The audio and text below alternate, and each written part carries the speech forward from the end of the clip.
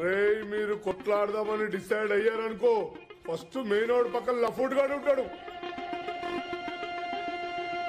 లఫూడ్ గాడికి ఇచ్చాయి.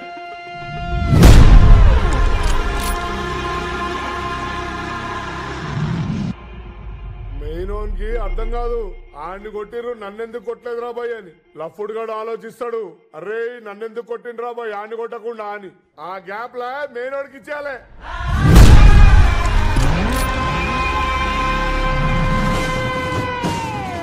ఇద్దరిని కొట్టంగానే గ్యాంగ్ గ్యాంగ్ వీక్ అవుతుంది.